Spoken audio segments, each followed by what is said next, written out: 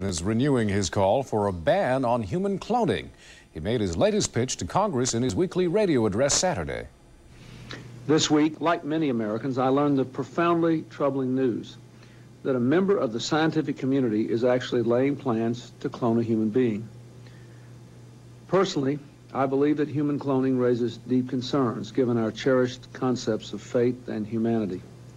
Beyond that, however, we know there is virtually unanimous consensus in the scientific and medical communities that attempting to use these cloning techniques to actually clone a human being is untested and unsafe and morally unacceptable. A Chicago area physicist says he plans to attempt human cloning to help infertile couples.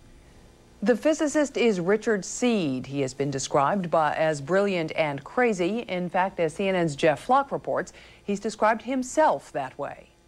How can I put it? Who is Richard Seed? I was an excessive lo- excessively loquacious, over-intelligent, over-educated human. What are his dreams? Ever since I was nine years old, I wanted to win a Nobel Prize in physics. What kind of child was he? I was the most unpopular child in Oak Park River Forest Township High School. Unpopular then as now, but again in the spotlight. Here he is in his suburban Chicago high school newspaper. This is the chemistry club where he got his start.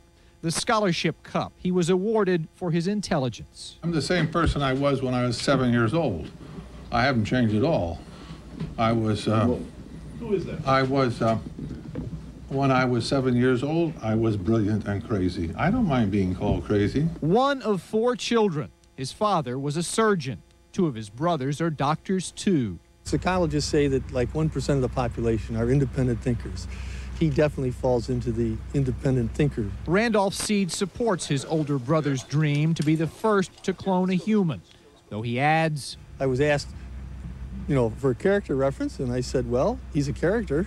You could dismiss Richard Seed, not even a medical doctor himself, as a character, crazy by his own admission. But that would be to overlook what Richard Seed has accomplished in his 69 years. Bachelor's, master's, and doctoral degrees from Harvard, PhD in nuclear physics, part of a team that accomplished the first human embryo transfer. But the company he formed with his brother to try and market the transfer technique failed when alternative technology overtook it. It's very difficult to make money. Very, very difficult to make money. But losing it is, is extremely easy and can be done very rapidly. Indeed, the man who says he needs $2 million to finance his dream has not had much luck with money.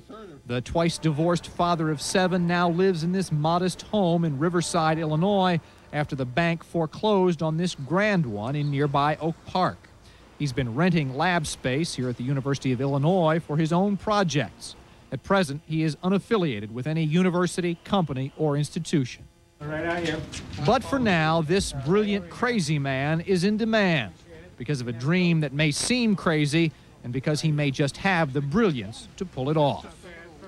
I'm Jeff Flock, CNN in Chicago.